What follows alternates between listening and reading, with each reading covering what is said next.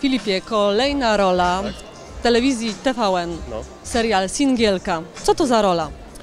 Singielki czy moja? Twoja. A, okej. Moja rola. Ja gram Mikołaja. E, Mikołaj jest dziennikarzem, pracuje w redakcji. O, to tak jak ja. Mm, No, słuchaj, masz ciężki zawód, powiem ci. Bardzo ciężki zawód.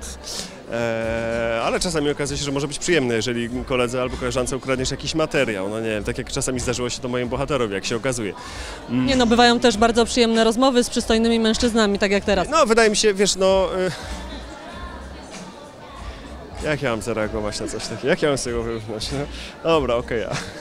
Już wracając jakby do meritum. E, Mikołaj stara się oczywiście być zawsze szarmancki, miły, cudowny, ale przede wszystkim jest niesamowitym pracocholikiem, wiesz, za wszelką cenę musi być najlepszy, musi zawsze mieć najlepsze materiały, e, najlepszych bohaterów, najlepiej wszystko musi być zredagowane, przy okazji stara się, nie wiem, no, być taką właśnie błyszczącą gwiazdą e, w redakcji. No czasami mu się to udaje, czasami dostaje po głowie.